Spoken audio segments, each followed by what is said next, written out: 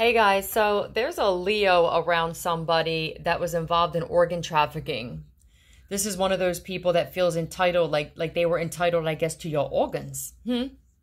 This person did or attempted to put cameras in your home. G E Y is an alternative for gay. So this person is gay.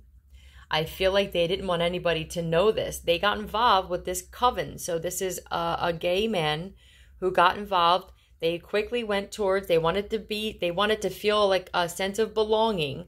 So they joined this gang or this coven of like gay men or you know that group that we're talking about.